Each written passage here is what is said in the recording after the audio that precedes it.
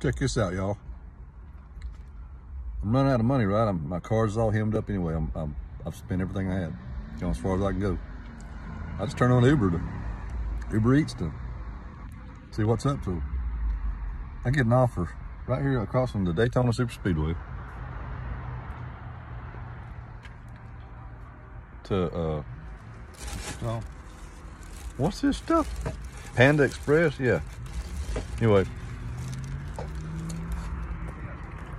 I just damn offer to go to Panda Express.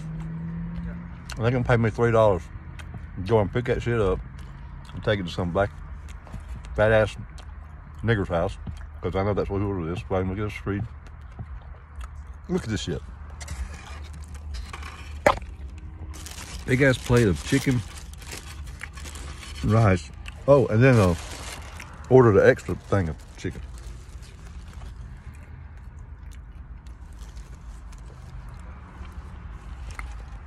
Some fat ass ordered that, and threw in a, a three dollar tip and expect us to run that shit in this traffic. Here's the Daytona International Speedway.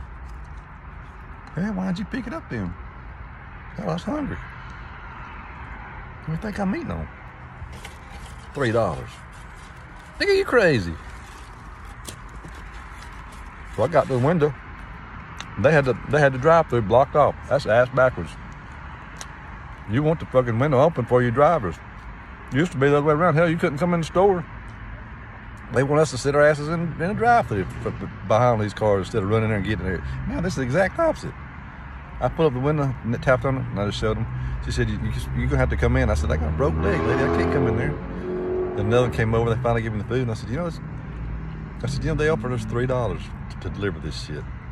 And she said, "We have to do our job too. We don't have people." I said, "I don't know. I understand. It's not your fault, but it makes no sense for me to." Get out of my damn car, and walk in there, and pick up some food and come back out when you fucking. I mean, I just zoomed right up to the front of the wind to the drive-through. Our drive-through is closed. I'm like, exactly. That's gonna help us out. You keep the damn drive-through closed, all them people's gonna come in and buy all that shit when they smell good. When they go get it, then we gonna come around and scoop up our goods really, really quick, and it ain't gonna be no problem.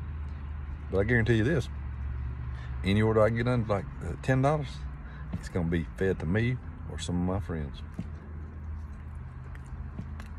the fuck out of here. Three dollar offer.